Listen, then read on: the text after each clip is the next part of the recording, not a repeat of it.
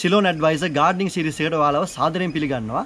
අපි කලින් කරා තක්කාලි ගැන වීඩියෝ එකක්. ඒකට අපිට සෑහෙන හොඳ ප්‍රතිචාර හම්බුණා. ගොඩාක් කට්ටිය අහලා තිබ්බා චෙරි තක්කාලි ගස් පට්ටු පෙන්වන්න කියලා. අනිත් එක චෙරි තක්කාලි කියන්නේ මොනවද කියන දේ ගොඩාක් කට්ටිය අහලා තිබ්බා. මම ආරාධනා කරනවා මේ වීඩියෝ එකේ අවසානයේත් රැඳී ඉඳලා අපි දෙන මේ කරුණු අවබෝධ කරගෙන ඔයාලත් ඒවා ක්‍රියාවට නංවලා ස්වයං පෝෂිත රටක් වෙනුවෙන් අපේ ඉලක්කය වෙනුවෙන් ඔයාලත් අපේ ඉලක්කෙත් එක්ක එකතු වෙලා මේ වැඩේ කරගෙන යන්න කියලා අවසානයේත් එක්ක වීඩියෝ එක නවරන මෙන් ආරාධනා කරනවා.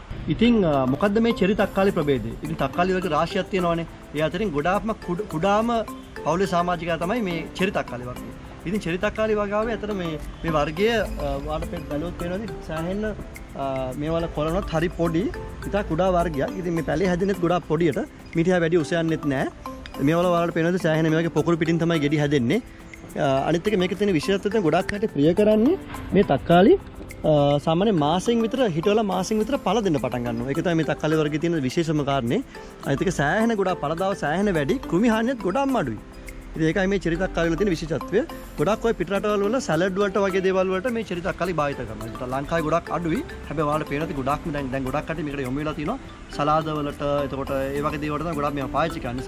සාමාන්‍ය කෑමට උයන්න ගන්න පුළුවන්. නමුත් ගොඩක් කට්ටිය එහෙම උයන්න ගන්නේ නැහැ. හැබැයි ඒ රසය ඒ හැම දෙයක්ම අපේ සාමාන්‍ය තක්කාලි